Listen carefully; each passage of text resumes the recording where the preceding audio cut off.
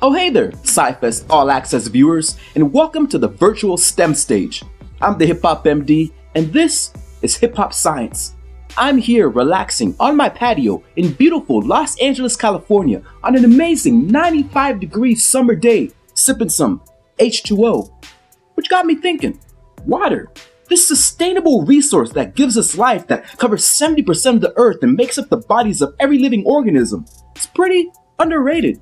I mean, when you break it down, like literally, water. It's pretty dope.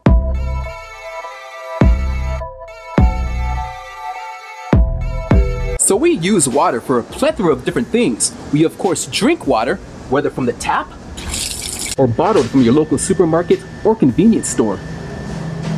We swim in water at swimming pools or in the deep blue sea. We clean with water, whether for our hands, 20 little yachties, 19 little yachties, 18 little yachties, or to wash our cars. We even waste water. Like, literally. And wildlife thrives in watered habitats such as lakes or streams. But no matter what we use water for, the most important thing is that this water must be clean, or as DJ Mustard and the Migos say, pure. Ice chain, pure water. So what actually goes into making our water clean, or as we scientists like to call it, water quality? In order to truly understand that, we first need to know how our water gets dirty in the first place. This means we need to understand the concept of solubility. We deal with soluble substances every day. Something is considered soluble when a solid substance known as a solute dissolves inside a liquid substance known as a solvent. This dissolving process changes the chemistry of the solution because particles are now broken down or combined to form new elements. You can actually test the solubility of different substances yourselves at home with a few simple household items. Using some glass jars, cups, or bowls, you can figure out what elements you have at home that are soluble. Let's look at four common solutes salt, sugar, pepper, flour, and of course our solvent, water. If you add a teaspoon of each solute into a jar of our solvent and stir, you can clearly see how the process of dissolving happens. Salt, sugar, and flour are all soluble, which we can see by how they react within water, forming salt water, sugary water, or juice if combined with the sugars of a fruit, and dough, which we can eventually use to make breads, pizzas, or cookies. The dissolving of a solute in water can even occur much quicker if our solvent is heated up. Try mixing your same solutes, but this time in boiling hot water, and see how much quicker they dissolve this time around. Higher temperatures cause water molecules to move around extremely fast. This increased speed accelerates the mixture of the solutes, which we can see in solutions like coffee or tea. Pepper, on the other hand, is not soluble, and regardless of how cold or hot your solvent is, will never completely mix to form a solution. Think of Pepper as Nicki Minaj trying to be the fourth member of Destiny's Child. So now that we know solubility, how does this apply to the quality of water we use every day? Well, soluble and insoluble substances exist all around us in every environment. Certain insoluble substances we can see, such as dirt and debris particles on the water's surface, but many soluble substances are unknown and can come from multiple different sources. These can include runoff of chemical fertilizers from farmlands into freshwater streams, or even wastewater or other toxic byproducts into our oceans. In order to ensure the protection of critical habitats, such as oceans or rivers, the wastewater we produce as humans must be treated before being released into our environment. This includes drainage from our sinks, bathtubs, dishwashers, washing machines, and yes, of course, our toilets. Stormwater or rainwater must also be treated because harmful substances such as oils, gas, and other chemicals can collect from our roads, parking lots, and homes and make their way into fragile ecosystems. Water treatment plants are designed to process water for different uses by using very similar methods.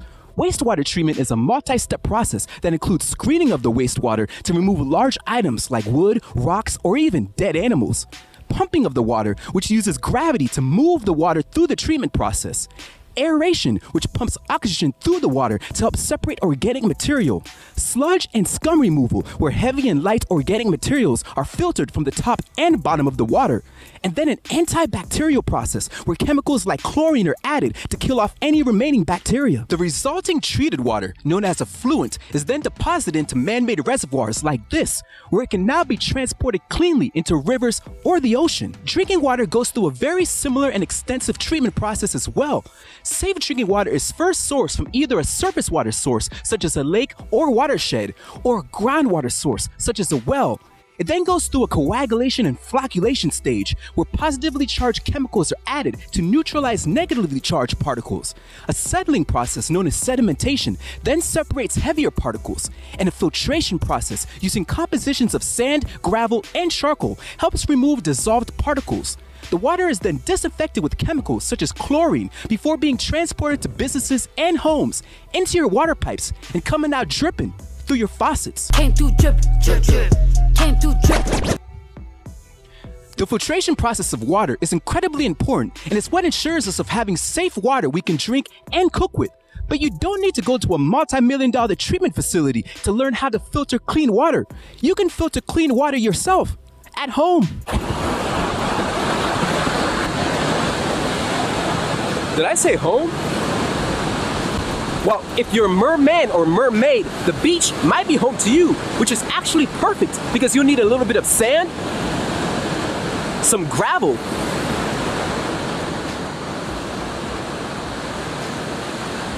Maybe I do need to go home.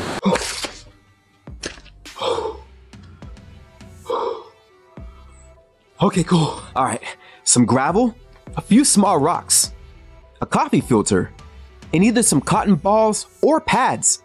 You'll also need a plastic container, scissors, rubber band, and a small basin. Cut the bottom off your plastic container. This is going to be our main filtration unit. Tie a coffee filter to the bottom of your container with your rubber band. Add cotton pads or cotton balls to create a couple inch thick layer. Next, add a couple inches of your sand, add a couple inches of gravel, and if you want, repeat these layers again. At the top, add your medium sized rocks, and then place your bottle over a jar or other clear cup. Fill your basin with some regular tap water. You can dirty it up using whatever random items you could think of soil, soap, bathroom cleansers, cooking oil, bird poo. Okay, maybe not bird poo, but get creative. Your dirty, disgusting basin is similar to wastewater that's released from a home's or storm drain runoff from the streets. Pour this mixture into your filtration system and observe the water that's released at the bottom. You should notice at least a slightly different looking substance, hopefully cleaner and clearer than what you originally put in. A result that will give a whole new meaning to no filter. Now, this filtered water is by no means drinking water quality, so don't go sipping nor is it necessarily safe to be released back into the environment. But this process represents much of the same processes our drinking water and wastewater go through to be properly treated. However, if you grew up like I did in a small village in the West African country of Cameroon, available clean water sources for you might be direct rainfall collected in buckets or irrigated water carried straight from a nearby lake or stream. In some countries, you might even have to travel miles in search of usable groundwater, and even then still be susceptible to contaminants and other potential biological diseases. Access to clean water is a very real and dangerous problem that threatens millions of people all across the globe. So, with water quality being such an issue, how exactly do we determine if what we're drinking is actually clean water? I mean, even the water from the stream looks lush and refreshing,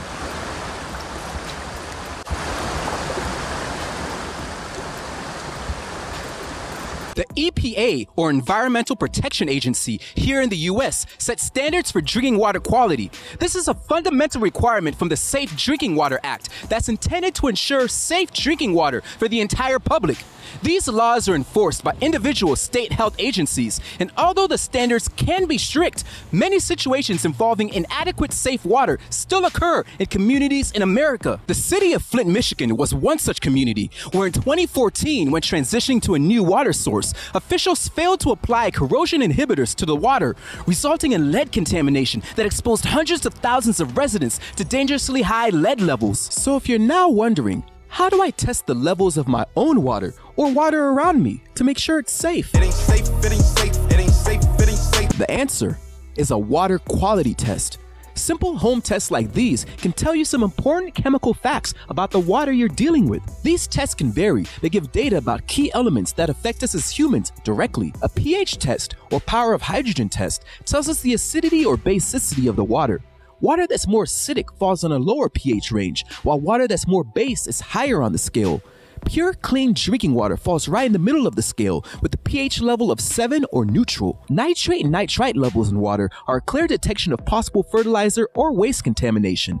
Nitrates are soluble compounds and are commonly found in agricultural fertilizers or as byproducts from human waste. These fertilizers can seep through soil into groundwater or surface water, and if not treated properly, can end up in your tap or bottled water. As we mentioned previously when discussing water treatment, chlorine is used in the last stages of the treatment process to disinfect the water and make it suitable for consumption or release. The most clear example of this is in swimming pools, where chlorine levels are much higher to help prevent the spread of bacteria and viruses to swimmers. When testing water you intend to drink, these numbers are incredibly important to make sure your water is safe for consumption and completely free of any chemicals.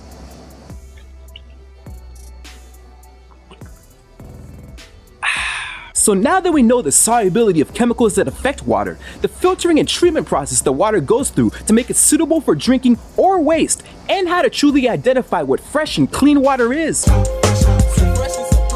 We now have the tools and knowledge to not only determine various water quality levels in any state or country you live, but also to see just how dope water really is. So next time you're lounging on a hot summer day, gulping down your favorite water of choice, Think about everything that went into ensuring, or maybe not ensuring, its true quality. I'm the Hip Hop MD. This is Hip Hop Science, reminding you that curiosity is nature's PhD. Never stop asking. Cheers.